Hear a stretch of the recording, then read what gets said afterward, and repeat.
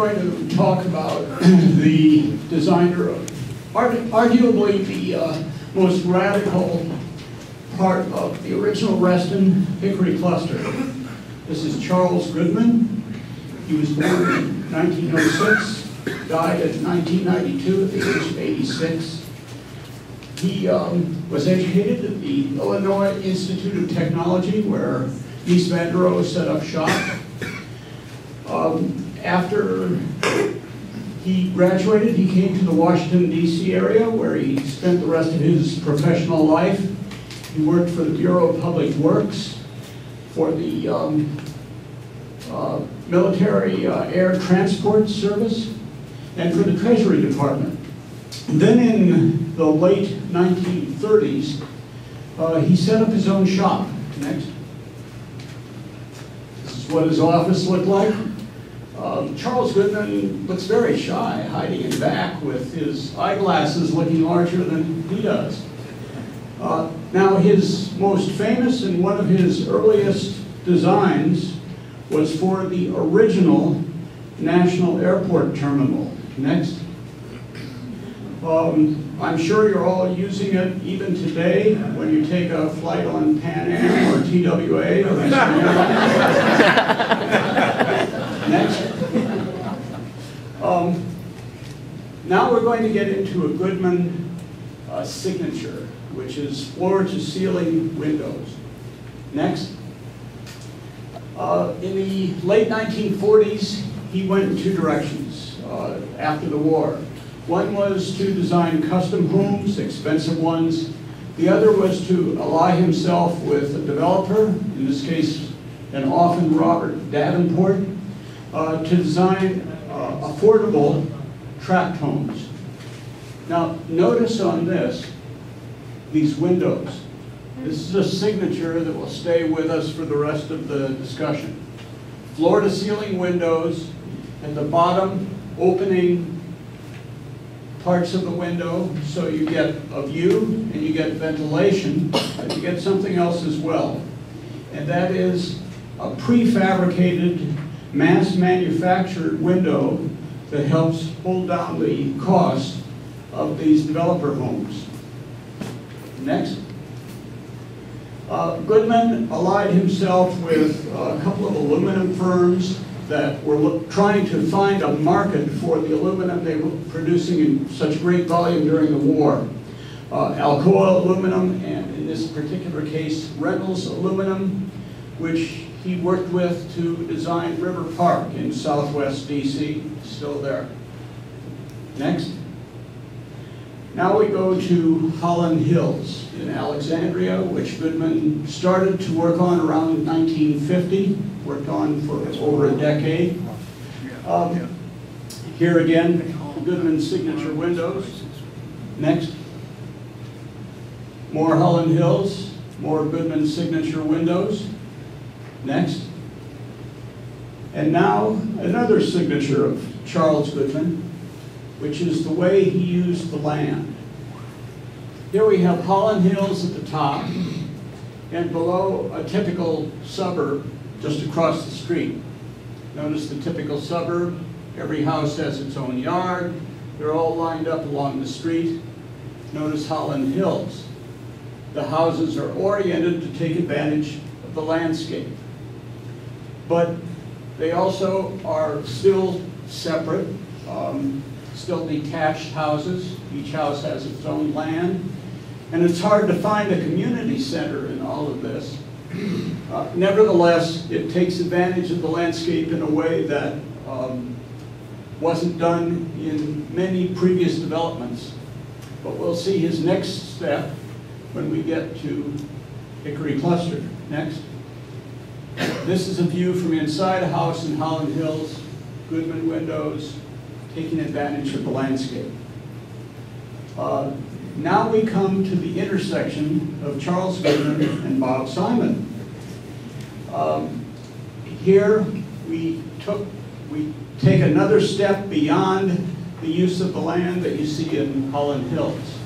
We're going to go to Hickory Cluster next, which was designed in 1962-63, built in 64-65.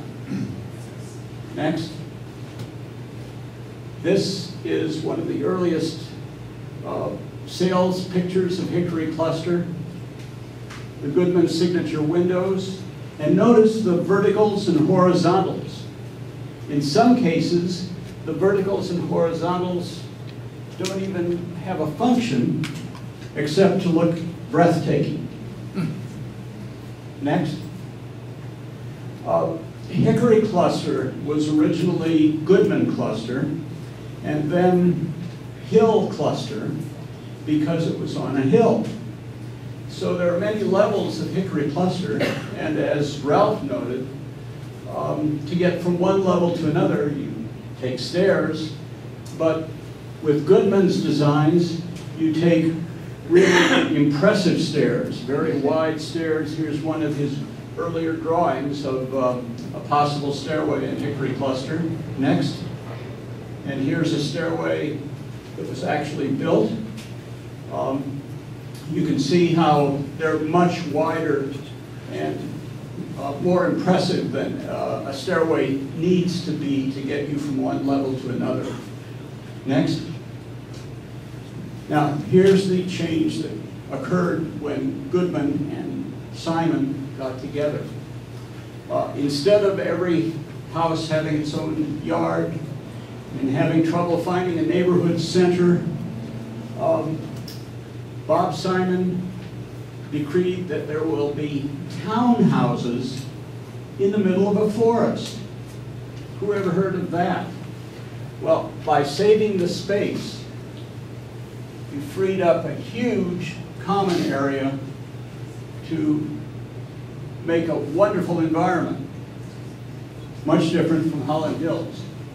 But a second thing occurs here, and that is that each house has two orientations. One is toward a neighborhood, and the other is toward a forest. Depending on where you look, you have your choice. Next. This is a uh, satellite picture of Hickory Cluster uh, in the wintertime without any trees. Next. This is a view through the Goodman signature windows in Hickory Cluster, the, the kind of environment you can see. Now on a personal note, uh, at our house, the back deck has been voted the finest recreation facility in Northern Virginia as the result of a poll of neighborhood house cats, raccoons, possums, squirrels, birds, and two litters of baby red foxes. Next. Now, Goodman um, made some false starts, and it's interesting to see uh, how an architect tries and sometimes doesn't succeed, but nevertheless has an imagination. This is block three of Hickory Cluster. This is a huge neighborhood gathering place, uh, a large fraction of an area, uh, of a, an acre in area. Um, this is a deck. The deck covers a parking lot that's invisible because of the deck. Uh, you drive into the parking lot here, and this funny shape here that looks like a bird's eye view of a piano is the grandest of staircases in Hickory Cluster. In fact, we sometimes called it the grand piano staircase. Um, here's a side view next to what we're looking at. This is the grand piano staircase. The cars drive in here and become invisible. Great stairways, and above it, a neighborhood gathering center. Now there was a problem. Uh, this was built in the uh, winter of 64, 65. Some corners were cut in uh, pouring the concrete. Apparently too much lime was added. And every two years thereafter, there was a crisis uh, with the structure.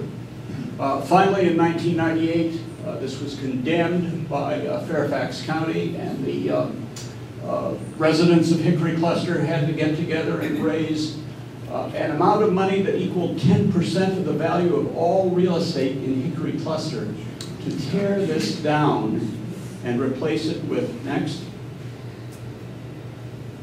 a structure that still reflects the Goodman sensitivities.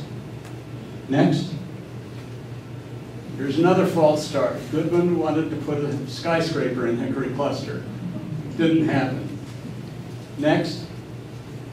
Another Goodman idea was to take the central part of Hickory Cluster, that huge common area, and you can't read the uh, writing up in the upper right-hand corner, but he wanted to put in this area a paddling pool, a model boat basin, an angler's pool, a swimming pool, bathhouses, and a music and dance pavilion. And Bob Simon said no. Bob Simon, as I understand, said these belong in the village centers. Um, Well, uh, the central part of Hickory Cluster does not look like this.